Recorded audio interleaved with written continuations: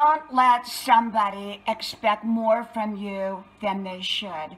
Don't let somebody expect more from you than they should.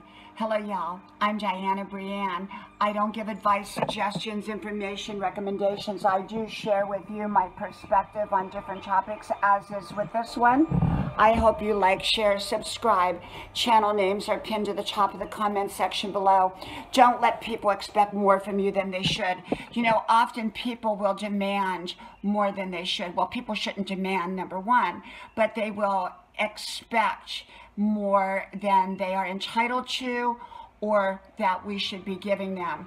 And so when people begin to step over their boundaries with unrealistic expectations of me or expectations that they should not be of me, then I simply pull back or say no. From my house to yours, may God bless you. I hope you like, share, subscribe, and I hope to talk to you soon again. Bye-bye.